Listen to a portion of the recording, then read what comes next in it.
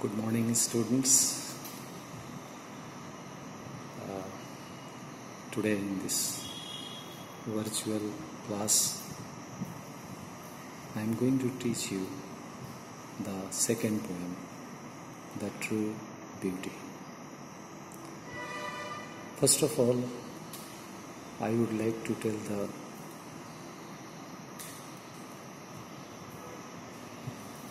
summary of the poem. In this poem, the poet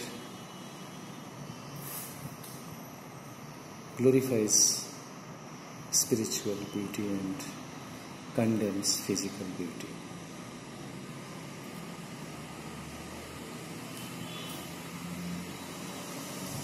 He criticizes physical beauty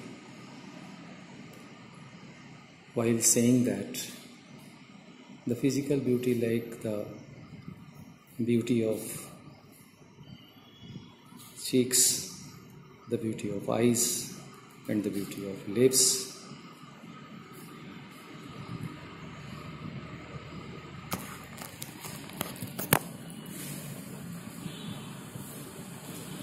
is transitory, is short lived.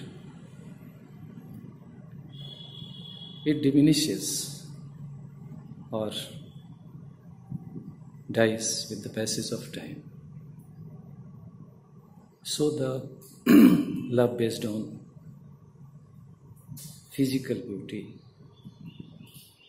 is also short lived and transient. The love also diminishes and wastes away with the passage of time. Quite contrary to this, the spiritual beauty, like the beauty of mind and heart, the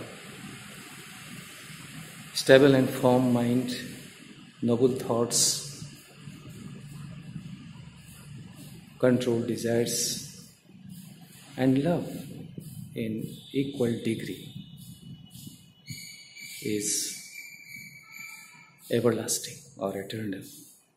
So, the love based on spiritual beauty is also long lasting and eternal.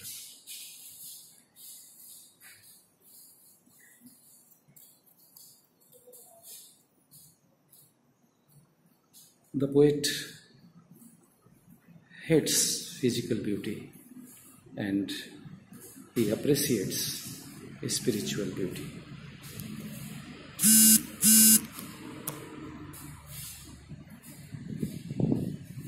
He loves spiritual beauty. He likes spiritual beauty. But he hates the beauty of eyes, the beauty of cheeks, and the beauty of lips, devoid of spiritual beauty or virtues like stable mind, controlled desires, noble thoughts, love in equal degree.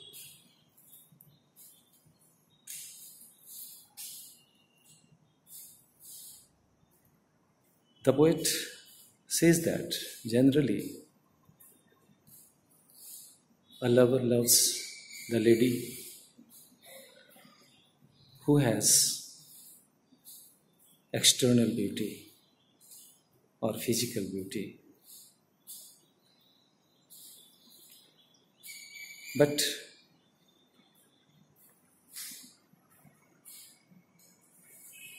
the love of the lover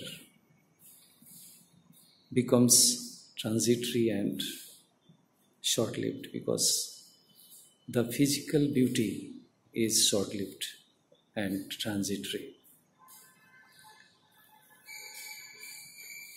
But if the lover loves the woman having spiritual beauty like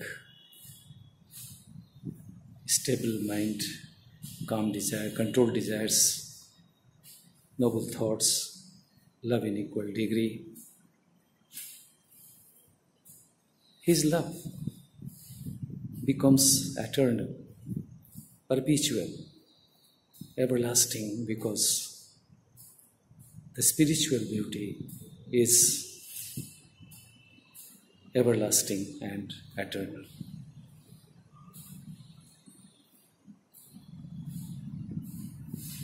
So,